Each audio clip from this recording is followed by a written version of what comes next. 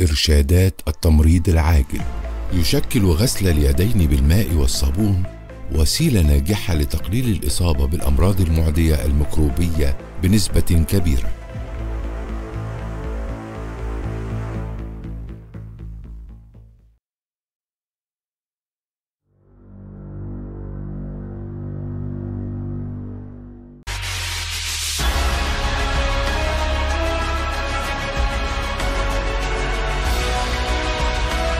لأول مرة في مصر التمريض يدخل المنافسة. أهلا بكم في العباقرة تمريض. مع الروائي عصام يوسف.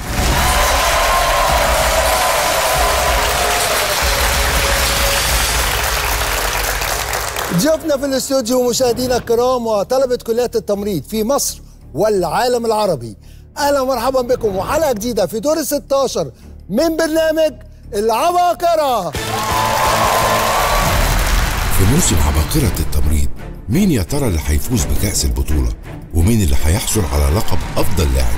ومين هو الطالب المثالي؟ أما المكسب الأكبر إن كل إجابة صحيحة من طلاب عباقرة التمريض هتساهم في تطوير المستشفيات الحكومية في مصر. في المرحلة الأولى كل نقطة ب 5000 جنيه وهيتضاعف الرقم وصولا للمباراة النهائية. العباقرة تمريض برعاية وزارة الصحة والسكان. جلياد الشركة العالمية الرائدة لصناعة الدواء وبشراكة البنك الأهلي المصري. بنك أهل مصر. في الحلقات اللي فاتت طلاب مصر جمعوا 6 مليون 675 ألف جنيه في خزنة البنك الأهلي لتطوير المستشفيات الحكومية. تعالوا نشوف طلاب مصر النهاردة هيوصلوا المبلغ لكام؟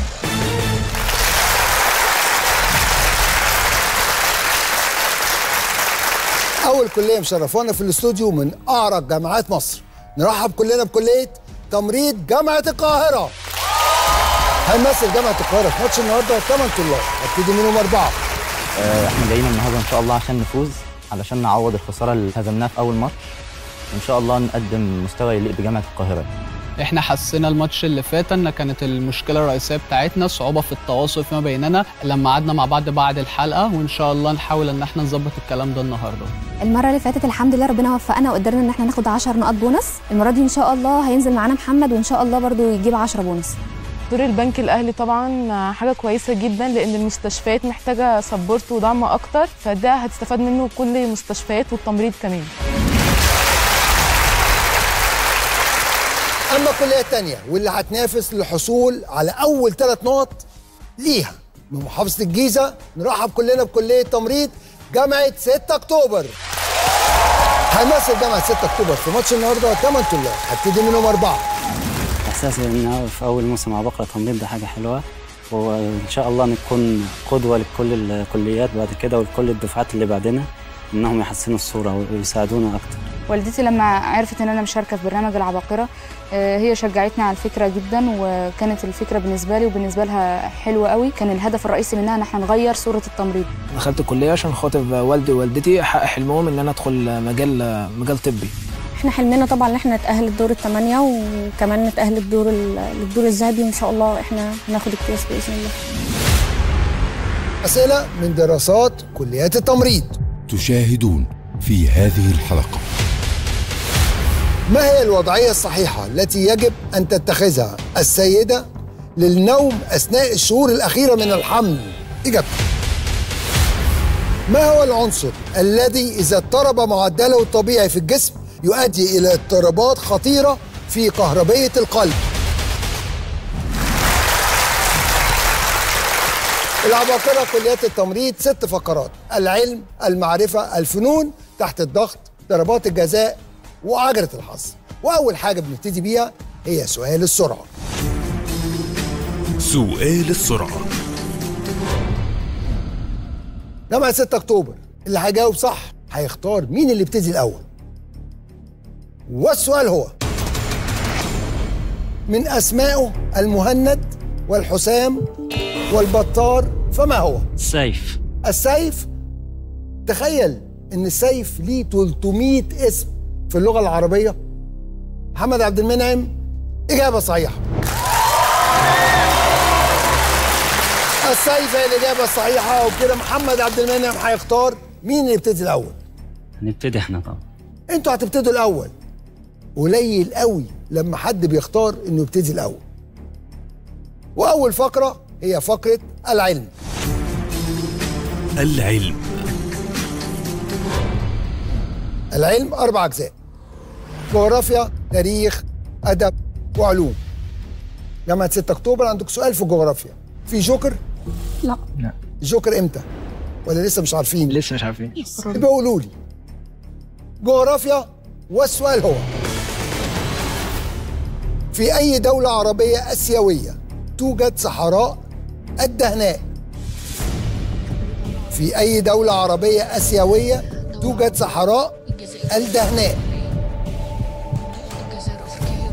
عشر ثواني.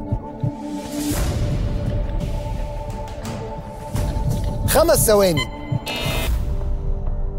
فاطمة إجابتك؟ الأردن. إجابة خاطئة. ما هياش في الأردن. وسام. اليمن. إجابة خاطئة.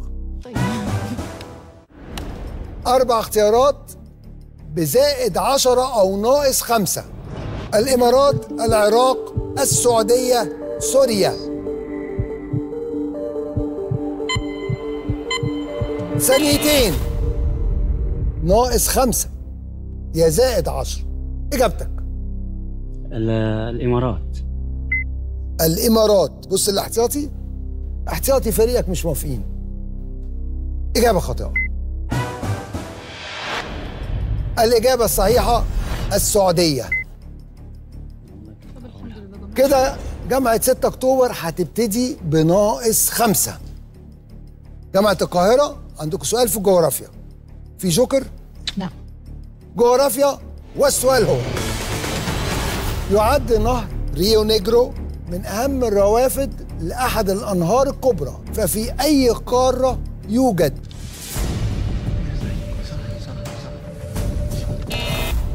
وسام مستعجلة جدا مش عارف ليه. أنا عايزة أضغط على طول. مستعجلة ليه؟ عشان عارفاها متأكدة منها. متأكدة؟ إجابتك؟ أمريكا الشمالية. أمريكا الشمالية يا وسام بعشر نقط. إجابة خاطئة. جامعة 6 أكتوبر في إجابة؟ محمد سيد إجابتك. آه، أمريكا الجنوبية؟ أمريكا الجنوبية بعشر نقط. إجابة إيه؟ صح خاطئة. طبعا إجابة صحيحة. ريو ريو لازم تبقى أمريكا الجنوبية يا وسام. ريو أكيد أمريكا الجنوبية وكده النتيجة خمسة جامعة 6 أكتوبر. جامعة القاهرة استعجلتوا برضو أربع ثواني في سؤال ليه؟ ما تاخدوا 10 ثواني. فكروا تناقشوا مع بعض. دلوقتي عندنا سؤالين في التاريخ وأول سؤال جامعة 6 أكتوبر. في جوكر؟ لا لا. تاريخ والسؤال هو من هو أول عميد مصري لكلية طب جامعة فاروق الأول؟ اللي هي القصر العيني. وهو اللي أنشأ أول نقابة أطباء في مصر.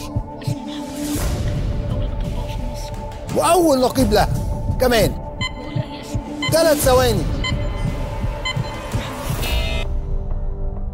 في الثانية العشرين.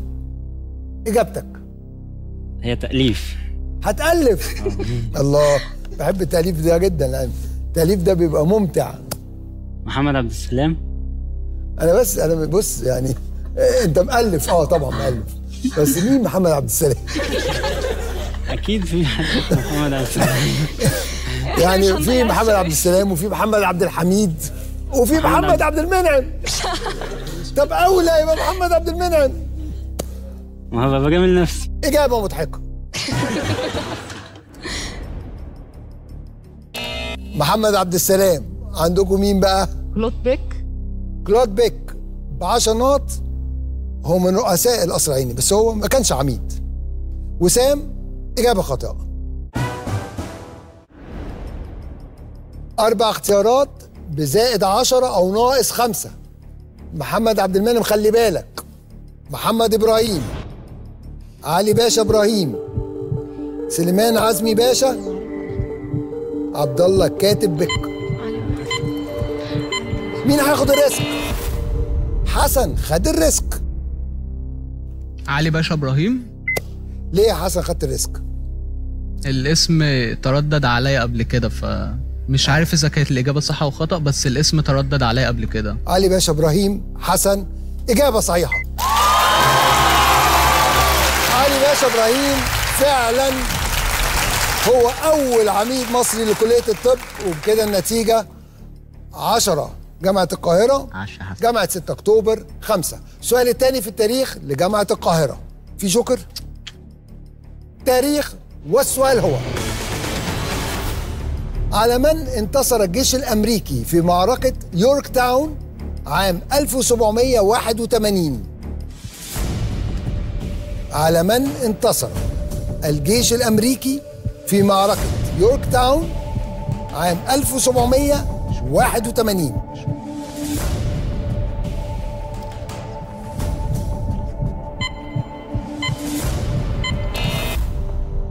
إجابتك. إسبانيا؟ إجابة خاطئة. في إجابة؟ محمد عبد المنعم ساب الفريق يتكلم وقرر هو يجاوب لوحده. إجابتك يا محمد. بريطانيا. بريطانيا أو الجيش الإنجليزي. إجابة صحيحة. واحدة من أهم معارك الاستقلال الأمريكي. برافو عليك يا محمد. وبكده نتيجة 15 جامعة 6 أكتوبر 10 جامعة القاهرة. ودلوقتي عندنا سؤالين في الأدب وأول سؤال لجامعة 6 أكتوبر. أدب والسؤال هو من هي الكاتبة الجزائرية صاحبة رواية الأسود يليق بك؟ أحلام المستغني أحلام مستغني يا فاطمة إجابة صحيحة. أحلام مستغني هي الإجابة الصحيحة وبكده النتيجة 25 جامعة 6 أكتوبر 10 جامعة القاهرة وعندكم سؤال في الأدب. أدب والسؤال هو من هو الشاعر السوري صاحب قصيدة هجم النفط مثل ذئب علينا؟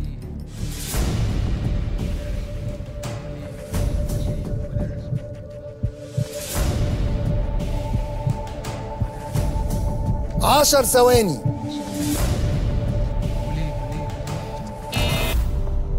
أميرة إجابتك. نزار الأباني. نزار قباني. نزار قباني يا أميرة إجابة إيه؟ خاطئ. إجابة صحيحة.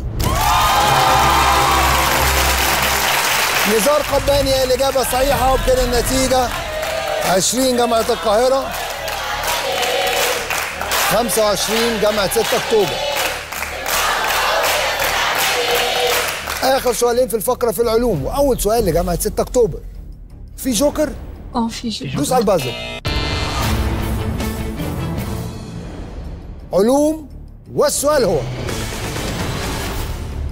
أول من نادت باستقلال علم التمريض عن التخصصات الطبية الأخرى وصاحبة نظرية الاحتياجات فمن هي؟ حطت تعريف للتمريض عن طريق 14 احتياج.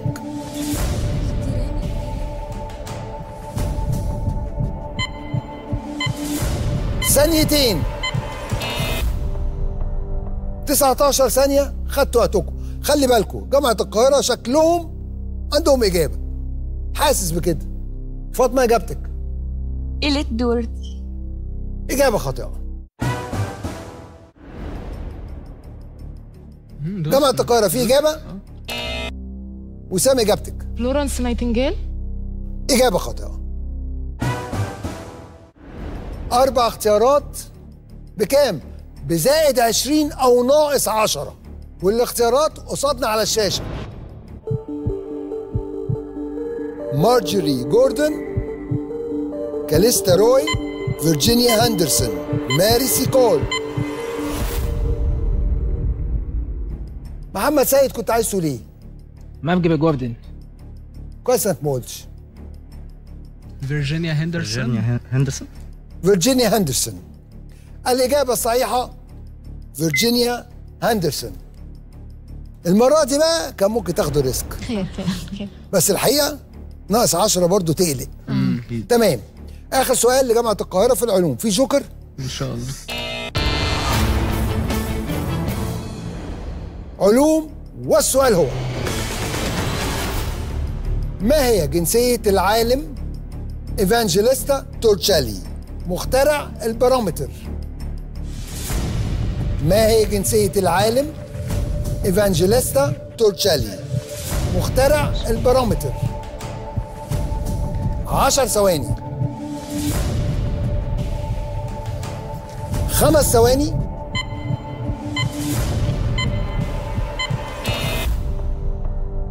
لا أحمد محمد وحسن جمال الاثنين بيدوسوا الوسام على البازر خلي بالكم هي بتعرف تدوس على البازر كويس جدا عشان تبقوا عارفين. جنسيته إيه يا وسام؟ إيطالي. أميرة مش موافقة. أميرة ما تناقشيش معاهم ليه؟ إحنا إحنا متفقين على حاجة تانية يا شباب. كتبتي إجابة تانية. خلي الإجابة التانية عندك. عارفة ليه؟ عشان إيطالي. إجابة صحيحة. ايطالي هي الاجابه الصحيحه برافو عليك يا وسام. 20 نقطة مهمين جدا لجامعة القاهرة. وبكده النتيجة 40 جامعة القاهرة 25 جامعة 6 أكتوبر. هنخرج فاصل وهنرجع مرة تانية مع فقرة المعرفة وفقرة الفنون والعباقره يبقى طلاب مصر جمعوا 65 نقطة. في فقرة العلم وكل نقطة ب 5000 جنيه بما يساوي 325 ألف جنيه في خزنة البنك الأهلي لتطوير المستشفيات الحكومية في مصر.